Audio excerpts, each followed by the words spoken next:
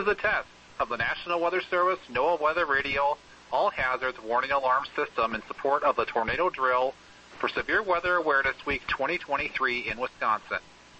The alarm tone will activate for severe weather and other life-threatening emergency messages impacting western Wisconsin. This is only a test. There is currently no severe weather threat across the area.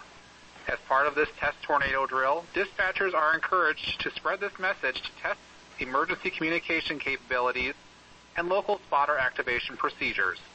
All businesses, hospitals, law enforcement, and other agencies are urged to test their severe weather emergency communication and sheltering plans.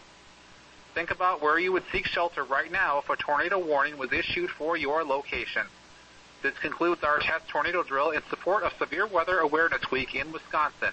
We now return to regular programming.